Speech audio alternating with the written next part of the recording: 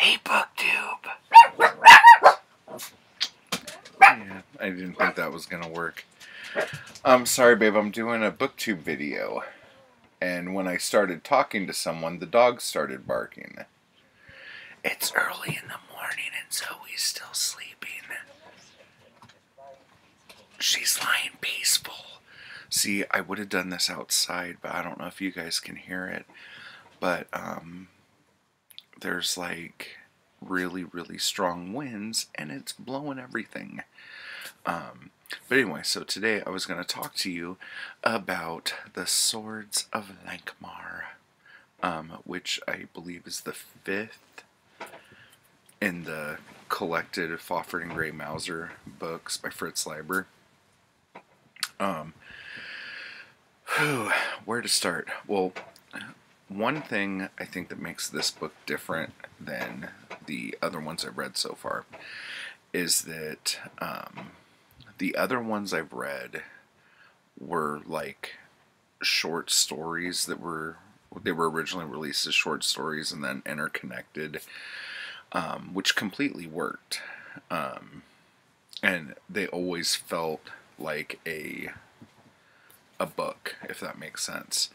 This one I think was actually I could be wrong. If I'm wrong, let me know down in the comments. This one feels like it was actually written as a novel. Um, because it kind of has the same through line more so than the other books have had before it.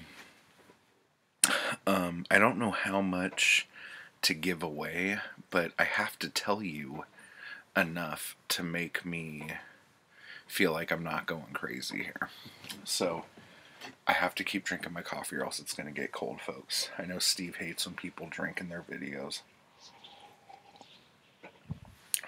But if you knew how hard it was to get hot water out here, you would understand. So this is probably like the fifth cup of hot coffee I've had since we've lived here. So um, it's okay.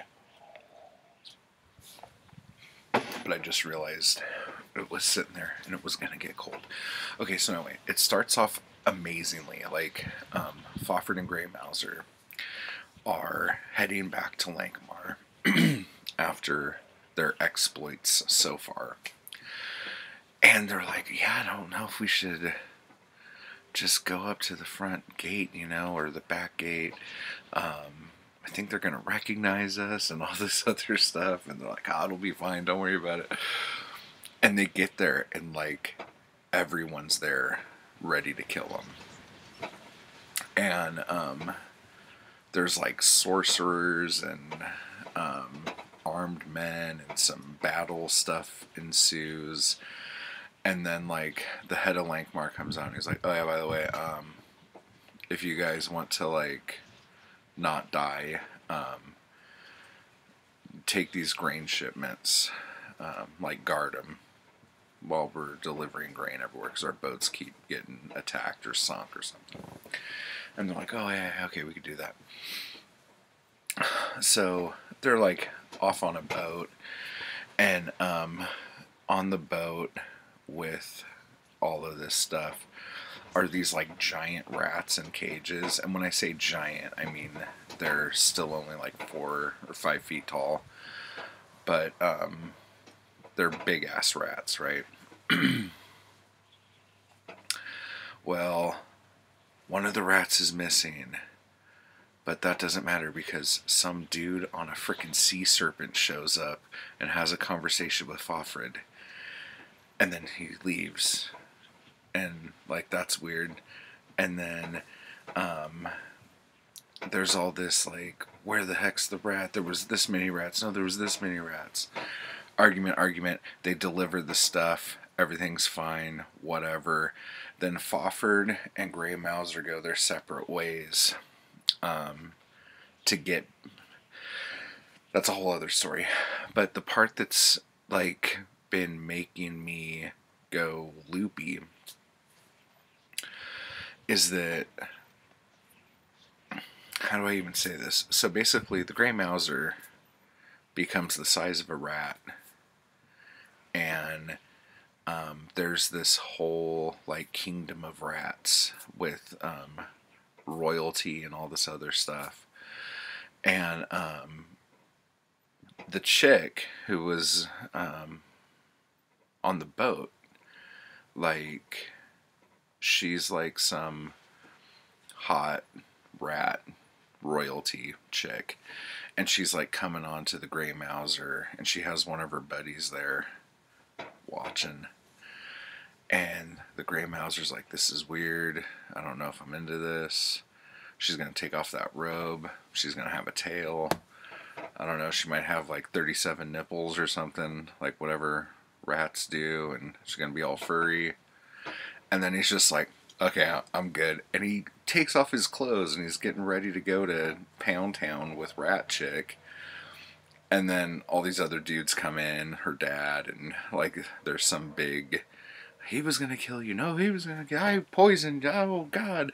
And so like all these guys attack naked Mouser with his little brown Mouser out, and um, it's just wild madness.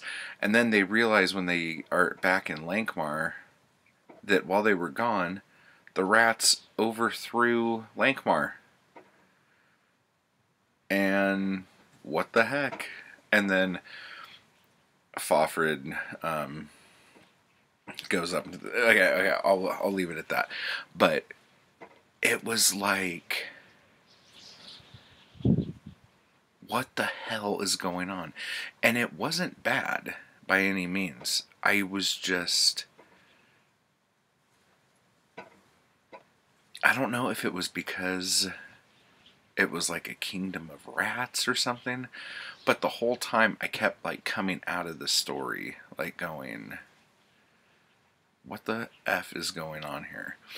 And yeah, the Fafhrd and Grey Mouser tales there's always some like weirdness in them because they're fantasy. But um this one I was just like it was good. And um Fritz Leiber is a very I don't want to say readable writer because that sounds ridiculous, but it's as weird as it is, it's very easygoing, if that makes sense. Um, and it's not that he dumbs anything down or anything like that. It's just, honestly, I think what it is is just Fafhrd is a great character. He's like a barbarian like Conan, but he wants like I feel like especially in the earlier stuff he wants to be more cultured. He wants to be um, more intelligent. And he is more intelligent especially more than people give him credit for. Um, and then the gray mouser is such a sneaky conniving little dude but like he always has great quips, and especially when it's just him and Fafhrd talking. Um, he's great. So it's just it's it's like an awesome buddy cop um, story. And like I understand like when they go off their own ways because there's been other books where they get separated and even in the last book they were separated for a little bit during that um Star, what was it called? Stardock. They were separated during that for a bit. Um, but I just, I really like it when they're together. I really do. Um, but anyway, so there's two more books, I think. I think it's um, Swords against ice magic, I want to say. And then the Knight and Knave of Swords, I think, is what's left. So um, I'm looking forward to those. And um, I have other book videos to do, so there will be some Edgar Rice Burroughs coming your way here um, pretty soon. So let me know down below what you thought of the book if you read it, um, if you liked it, what's your favorite Fafhrd and Gray Mouser book. Um, if there's a Fritz Leiber book you like better than the Fafhrd and Gray Mouser series, let me know that down below because I would love to look into that as well. Um, and if you think any of the stuff, especially earlier when I was like, I'm not sure about this, um, let me know if I was off base there. So, anyway, um, take care, everybody. Bye bye.